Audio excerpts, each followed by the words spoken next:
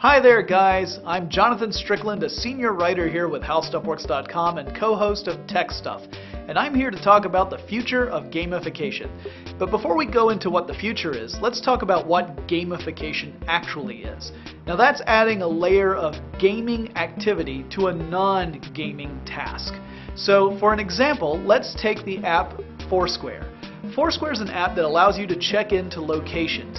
Uses GPS receivers and cell phone towers to figure out where you are, and then you can check into that place. Well, there are a lot of different gaming elements to Foursquare as well. First of all, there are badges you can earn by visiting specific types of places a certain number of times. If you visit the same area enough times, you can become the mayor of that place. And Foursquare has entered into agreements with various retailers and restaurants and other businesses that will give you discounts if you frequent a place enough times. That's just one example of gamification. And I see this becoming increasingly popular across commerce in the next few years. So we'll probably see some customer loyalty programs that build in gaming elements to increase that engagement and encourage you to come back over and over, spending money at these places and, and rewarding you in ways beyond just whatever product or service you're buying.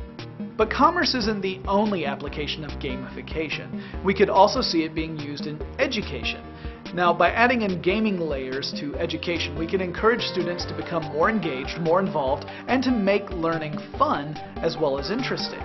Now, there's some controversy about adding gamification into education. After all, we don't want everything to just turn into a, a game. We don't want everything to be considered uh, uh, frivolous or just a, a waste of time, even. But it seems like gamification is a good way to help students really get more involved in their coursework. But here's another example. What if we add gamification to health applications? There are a lot of technology products coming out on the market right now that add levels of gamification to getting healthy. For example, you might have an armband that keeps track of your physical activity and lets you know how many calories you've burned each day. Well, a gamification level might pit you against your friends who have similar devices so that you can compete against them and see who's doing the most activity each week, and thus you are encouraging yourself to lose more weight and be more active. Or you might even add an entire game on top of losing weight. There's a device called Striiv, S-T-R-I-I-V, that has a almost social networking style game where the energy you burn becomes currency within the game itself. This is just one early example of gamification in the health field, and I expect we're going to see a lot more of that in the years to come as people see games being a way to get into activities that perhaps they've wanted to engage in in the past, but just couldn't get over that final hurdle to really commit to it. Can gamification change the world?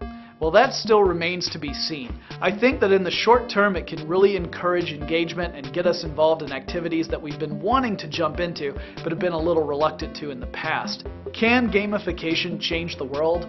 Well, that remains to be seen. I think in the short term, gamification can really help us engage in our activities that otherwise we might feel there's a barrier to entry. However, whether that's sustainable or not is still a question that's in my mind.